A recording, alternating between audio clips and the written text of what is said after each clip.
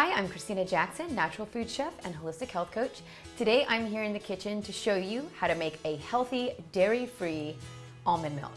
Now, this is a great basis for smoothies or um, for your cereals or even just to enjoy as a nice beverage.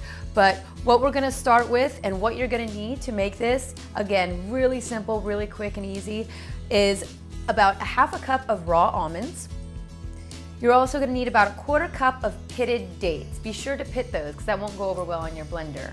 You can add or take away dates depending on the sweetness that you want your milk, um, but three for me is, is usually good. And then you wanna have a reserve of water. We have about four cups here. All right, let's add these wonderful ingredients. So you're gonna add your almonds first. Go ahead and add your dates. Throw those in there. I'm just gonna put a little water in that just to get it started. Let's get it going.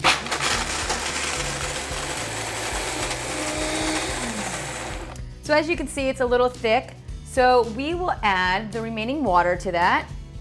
I'm gonna stop at about two cups.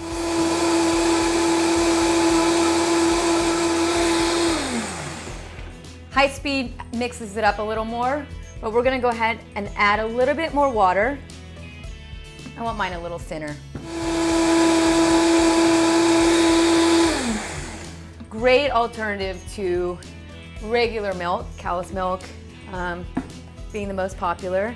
This is unpasteurized, this is natural, and it's great for those who are lactose intolerant or allergic to dairy. And there's your almond milk.